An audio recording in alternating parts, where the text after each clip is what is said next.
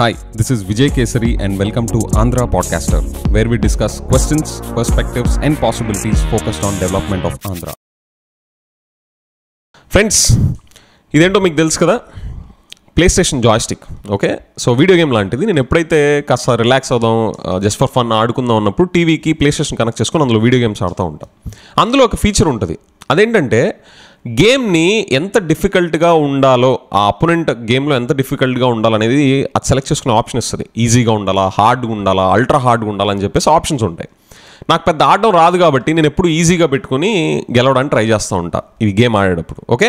So నేను మీకు ఎందుకు చూపించాను ఇదంతా ఎందుకు చెప్తానని చెప్పి మీకు వన్ టు టూ మినిట్స్లో అర్థమవుతుంది అనమాట ఫ్రెండ్స్ జగన్ గారు ఫిబ్రవరి సిక్స్త్న అసెంబ్లీలో స్టేట్ అసెంబ్లీలో మన ఆంధ్రాకు సంబంధించిన ఫైనాన్సెస్ మొత్తం ఆయన చూపించారు ఓకే?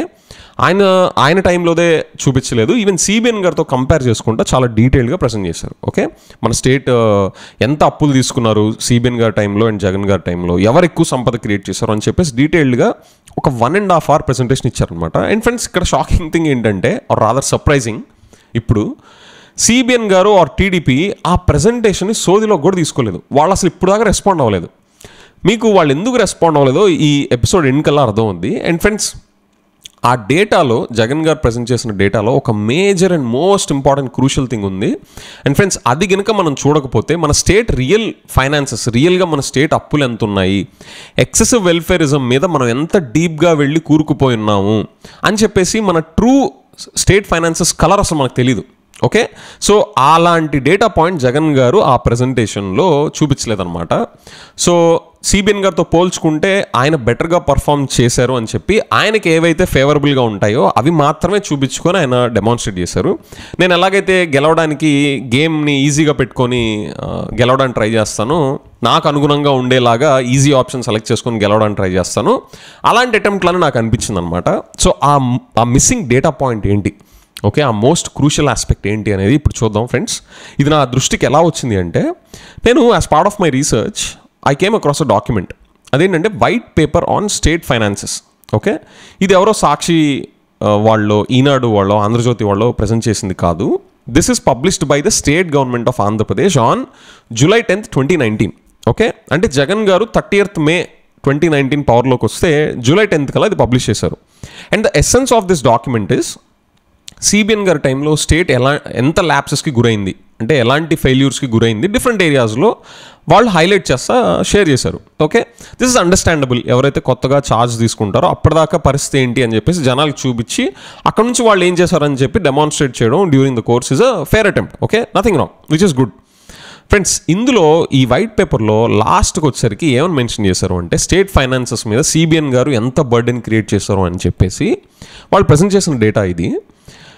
సమరీ ఏంటి అంటే outstanding debt two point five eight lakh crores and మిగతా of budget borrowings are fifty eight thousand crores అంటే మన బడ్జెట్లోకి వెళ్ళని బారోయింగ్స్ కార్పొరేషన్స్ కింద లోన్స్ కింద అలాంటివి తీసుకున్నాయి fifty eight thousand crores and మిగతా కట్టాల్సిన బిల్స్ అండ్ డ్యూస్ అనమాట పవర్ సెక్టర్ కానీ సివిల్ సప్లైస్ అండ్ మిగతా అన్ని డిపార్ట్మెంట్స్ కలుపుకొని రెండు లక్షల యాభై ఎనిమిది వేల కోట్లకి సుమారు ఇంకో లక్ష కోట్ల పై చిలుకు లక్ష నాలుగు వేల కోట్ల చిల్లర. అలాగా ఆ నెంబర్ యాడ్ చేస్తే మొత్తం three point six two lakh crores అయింది అని చెప్పేసి ఆయన అక్కడ మే ఏం మెన్షన్ చేశారంటే the financial situation as it stands today stands crippled okay వాళ్ళు యూస్ చేసిన వర్డ్ క్రిప్పిల్డ్ అనమాట అంటే కుంటి పడిపోయింది అని.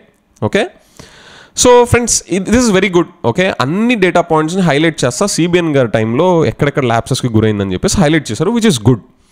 Friends scene cut చేస్తే ఫిబ్రవరి సిక్స్త్ జగన్ గారి ప్రజెంటేషన్లో అక్కడ ఆయన డెమాన్స్ట్రేట్ చేసింది ఇది ఈ డేటా అనమాట ఇందులో చూస్తే మీరు సిబిఎన్ గారి టైంలో వాళ్ళు తీసుకున్న loan you know outstanding debt is two point five eight lakh crores okay increase in liabilities same number ఆయన అక్కడే వైట్ పేపర్లో ఏదైతే ప్రజెంట్ చేశారో few nine hundred you know రఫ్లీ one thousand crores అటు ఇటు two point five eight lakh crores అని చెప్పేసి ఇక్కడ కనిపిస్తుంది.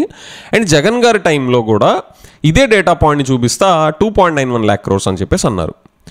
కానీ సిబిఎన్ గారి టైంలో వైట్ పేపర్లో ఎలాగైతే off budget borrowings pending bills ఎలాగైతే డీటెయిల్డ్గా జగన్ గారే జగన్ గారు పవర్లోకి వచ్చాక ఎలాగైతే డీటెయిల్డ్గా సిబిఎన్ గారి రెజ్యూమ్లో ఆ ఫైనాన్సెస్ చూపించారో మరి జగన్ గారి టైంలో కూడా జరిగినవి off budget borrowings and other payment dues చూపించాలి కదా.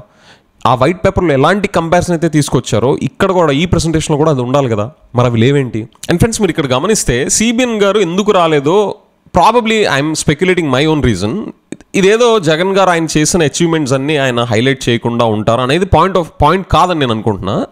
కానీ వాళ్ళు రాకపోవడానికి రీజన్ ఏంటి అంటే ఇదిగోండి. ఎలాగైతే off budget borrowings pending dues ఇవన్నీ హైడ్ చేశారో ఆ డేటా అంతా కూడా జగన్ గారికి ఫేవరబుల్గా స్క్యూడ్గా బయాస్డ్గా ప్రజెంట్ చేశారో స్టేట్ అసెంబ్లీలో. సో ఇంకా అలాంటి వాటి మీద రిప్లై ఇచ్చే పాయింట్ ఏంటి? యూనో అంటే ఆయన పబ్లిష్ చేసిన వైట్ పేపర్లో ఉన్న డేటానే ఆ డేటా పాయింట్స్ని కంపేర్ చేసి జగన్ గారు ఎందుకు ప్రజెంట్ చేయలేదు అనేది ఇప్పుడు కామన్ మ్యాన్గా మనకు అర్థం ఉంది ఇంకా జ ఇంకా సిబిఎన్ గారు and his team why will they even bother okay? So so point ఏంటి అంటే ఇక్కడ ఇంకోటి అసలు ఇట్లాంటి ఆఫ్ బడ్జెట్ బారోయింగ్స్ అనేవి అసలు మెయిన్ స్ట్రీమ్ డిస్కషన్లోకి ఎందుకు రావట్లేదు? ఎందుకని వాటిని you know they are trying to keep it under the carpet ఎందుకని హైడ్ చేస్తున్నారు? పబ్లిక్కి ఎందుకు టోటల్గా మనం తీసుకున్న అప్పులు? ఇన్ఫ్యాక్ట్ అసలు లైవ్ డాష్బోర్డ్లో మనం ఏఐ జమానా లేకపోతే ఐటీలో మనం తోపు తురుముకాలను అనుకుంటాం అనుకుంటాం కదా? మన స్టేట్ గవర్నమెంట్ ఎన్ని అప్పులు తీసుకుంటుంది? ఎన్ని కంపెనీస్ వస్తున్నాయి? ఇవన్నీ డాష్బోర్డ్లో పెట్టి లైవ్గా ఎందుకు అప్డేట్ చేయకూడదు?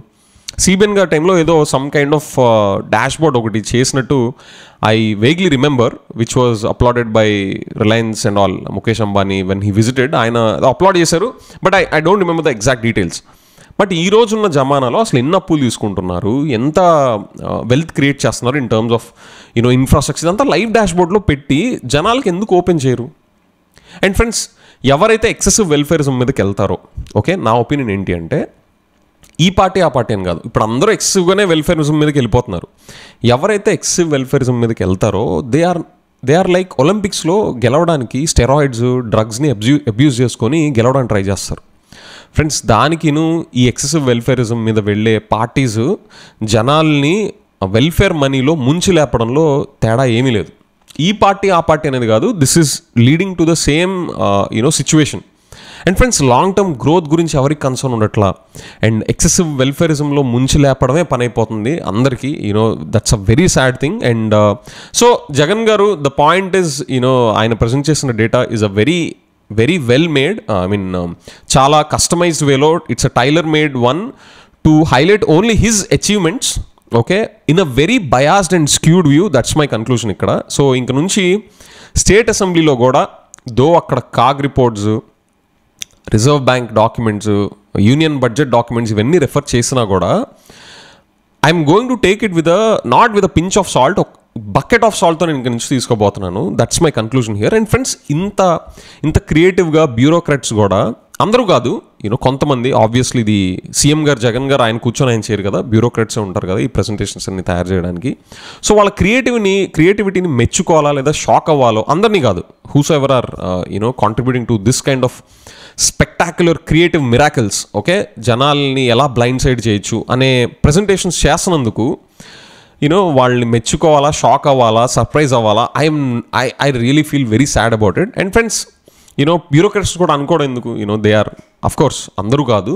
It is very clear that they are not public servants but politician servants so very good you know I would really appreciate that you know ఇలాంటి tailor made customisation customise presentations అనేవి అసెంబ్లీలో కూడా జరుగుతాయి.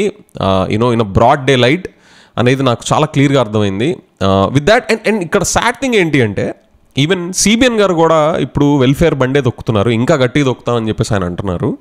So నాకు ఇక్కడ ఎవరు ఎవరు ఎవరిని మెచ్చుకోవాలి ఎవరిని క్రిటిసైజ్ చేయాలి అనే డి డిస్టింక్షన్ నాకు కనిపించట్లేదు. అందరూ are going full aggressively on welfare and friends నేను కన్క్లూషన్గా చెప్పాల్సింది చెప్పాలనుకుంటుంది ఏంటంటే ఇది సిబిఎన్ గారిని బ్లేమ్ చేయలేం జగన్ గారిని బ్లేమ్ చేయలేం.